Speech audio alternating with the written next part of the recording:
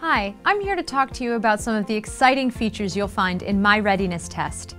My Readiness Test enables institutions to build customized tests to diagnose incoming students and to improve the process for entrance or course recommendation.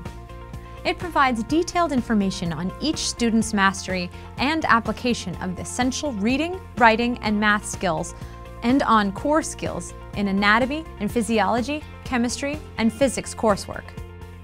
Today we'll look at the question library, targeted assessments, and results management features. The question library offers premium assessment. Educators can use our preloaded diagnostics or they can select from over 40,000 questions. They can edit any question or even author their own. Instructors can create their own tests. With targeted assessments, every question ties to a specific objective. Instructors can control how and when students can access tests, Choose whether to set a time limit or display a countdown. Scramble question order if desired. Decide how results will be delivered to students. Administrative tools for results management include detailed reporting on student performance, ability to define point distributions, one-click course recommendation capability from the gradebook.